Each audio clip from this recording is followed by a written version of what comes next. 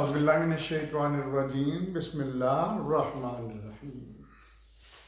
असलकम वरहमतुल्लाहि वबरकातुहू दोस्तों अजीज़ो वेलकम टू माय चैनल मेरा नाम डॉक्टर अबू अब्दुल्ला है और मैं इंटरनेशनल इस्लामिक यूनिवर्सिटी से कुरान सुन्ना इस्लामी क्लास में ग्रेजुएटेड हूँ। आज हम जिस टॉपिक पे बात करेंगे, वो बहुत इम्पोर्टेंट है कि कुरान में अल्लाह ने किस किस्म के अहकाम दिए हैं कि किस तरह गुफ्तगु करो, लोगों से किस तरह मामला करो ट्रीट करो, लोगों से किस तरह उनके साथ लबो लहजा अख्तियार करो। लोगों प्रॉब्लम ये है कि हम लोगों में बेतहाशा गलतियाँ हैं, लेकिन एक ये भी बहुत बड़ी गलती है कि हम कुरान से लेते नहीं हैं अहकाम जो कि अल्लाह ने हमें कहा है उन अहकाम को। तो हम उसमें गुस्से में या इंसान फितरतन कमज़ोर है तो गलती का पुतला है। तो हमें कोशिश करनी चाहिए कि अल्लाह के ये अहकाम को बार बार पढ़ें और उन पर अमल करने की कोशिश करें। मैं शुरू करता हूँ। पहला सूरा बकरा 83 में फरमाया, और लोगों के साथ भलाई से बात करो। नंबर दो, सूरा इनाम नहीं, मैं इस तरह पढ़ता हूँ। नंबर वन, और लोगों के साथ भलाई से बात करो। सूरह बकरा, दो नंबर सूरत की तिरासीवीं आयत।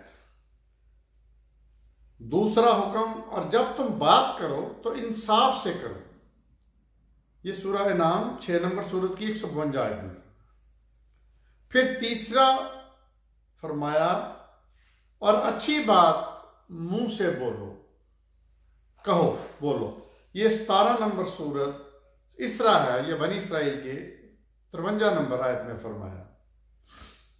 नंबर चार, पस नरमी से बात करो।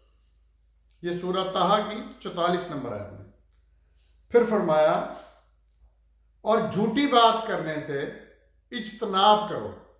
ये बाईस नंबर सूरा हज की तीसवीं आयत में फरमाया। फिर फरमाया, और सीधी और सच्ची बात करो, कौलन सदीदा। ये सूरह अहजाब की सत्तरवीं आयत में फरमाया।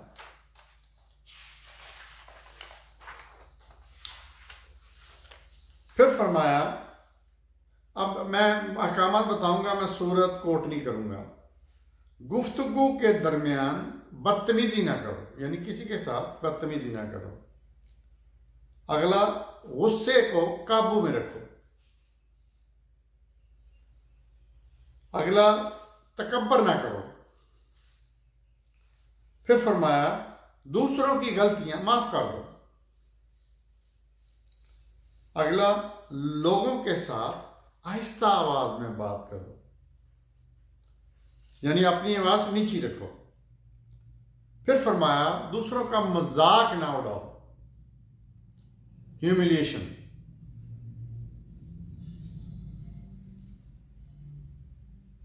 फिर हुक्म दिया कि वालदेन की खिदमत करो। उनको उफ ना कहो। उनकी इजाज़त के बगैर उनके कमरे में ना जाओ। फिर हुक्म फरमाया, हसाब लिख लिया करो। ये मैं रैंडम बता रहा हूँ। फिर फरमाया, किसी भी चीज़ की अंधाधुन तकलीद ना करो। फिर फरमाया, जुकात, सदकात, खैरात देते रहो। अगर मकरूज के लिए मुश्किल है तो मोहलत दे दो। सूद ना खाओ। रिश्वत ना लो। वादा खिलाफी ना करो, यानी वादा निभाओ। अपने अहद को, यानी कमिटमेंट को पूरा करो। सच बोलो, सच में झूठ की मिलावट ना करो। इंसाफ करो और इंसाफ के लिए मजबूती से खड़े हो जाओ। मरने वाले की विरासत इंसाफ के साथ तकसीम करो, तमाम रिश्तेदारों में। यतीमों के हकूक पूरे करो। लोगों के दरमियान सुलह करा दिया करो जब लड़ाई हो। बदगुमानी से बचो। गीबत से बचो। जसूसी ना करो। अफवाह साजी की तरफ़ ध्यान ना दो। फजूल खर्ची ना करो। मेहमानों को इज़्ज़त दो। खुद नेकी करो और दूसरों को तलकीन करो। ज़मीन पर बुराई या फसाद ना फैलाओ। लोगों को मस्जिदों में दाखिल होने से मत रोको। मज़हब में किसी किस्म का जबर नहीं, हदायत सिर्फ़ और सिर्फ़ अल्लाह दे सकता, कोई रसूल भी नहीं दे सकता। सिर्फ़ उनसे लड़ो, जंग करो, जो तुमसे लड़े, या जंग करें। जंग में पीठ ना दिखाओ। जना और बदकारी से बचो। औरत को जब हैज़ हो तो उन दिनों में हम बिस्तरी ना करो। बच्चों को माए, दो साल तक दूध पिलाएँ। नफाक से बचो। बखीली ना करो और ना इसराफ करो। यानी ना आप जूसी करो और ना बहुत ज़्यादा लुटाओ। इसराफ मैं ना रवि हसद ना करो। एक दूसरे को कत्ल ना करो। इजाज़त के बगैर किसी के घर में दाखिल ना हो। शराब और जुए से बचो। तहारत कायम करो, यानी सफ़ाई। तहारत निसफल ईमान। अल्लाह के नबी ने फरमाया कि तहारत, यानी सफ़ाई, निसफ ईमान गुर्बत के खौफ से अपने बच्चियों का कत्ल ना करो। इंडिया में बहुत हो रहा है। हमारे भी करते हैं लोग। गैर मुसलमों के साथ मेहरबानी और अच्छे इखलाक से पेश आओ।